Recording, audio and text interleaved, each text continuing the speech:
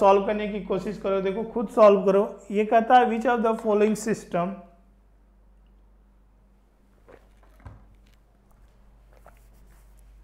which of the following wavelength अब देखो, प्यारे बच्चों, इसमें हमें वेवलेंथ देखना है कि अगर wavelength n is equal to two से n is equal to one में अगर जंपिंग हुआ है, अगर इलेक्ट्रॉन डी एक्साइड हुआ है ठीक है? N is equal to one है और n is equal to two है तो इलेक्ट्रॉन यहाँ पर था और यहाँ से डी एक्साइड हुआ तो इसमें जो वेव लेंथ होती है लैमडा वो जनरेट हो जाती है।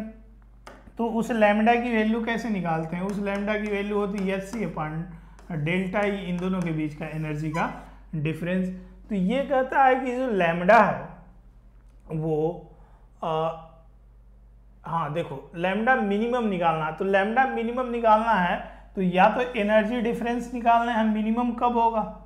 भाई या तो ये हर एक एटम का अलग अलग एनर्जी लेवल है तो एनर्जी जनरल एनर्जी जो है एनर्जी एन ऑर्बिट में minus thirteen point six n square z square electron volt तो एक तो मेथड ये हुआ कि आ, हर एक का एनर्जी डिफरेंस निकाल लें जेड और एन की वैल्यू रख के क्योंकि एन और एनर्जी डिफरेंस जो डेल्टा ही वो एनर्जी का डिफरेंस है।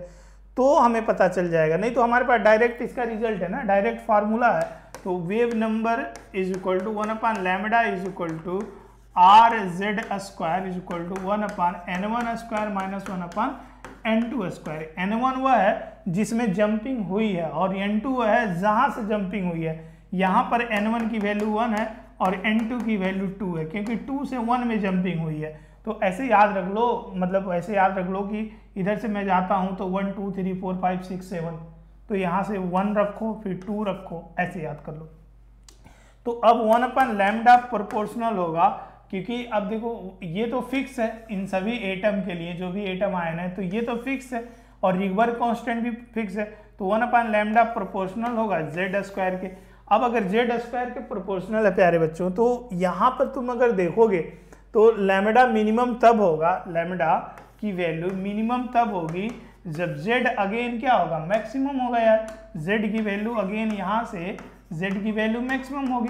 अब z मैक्सिमम कब होगी मेरे भाई?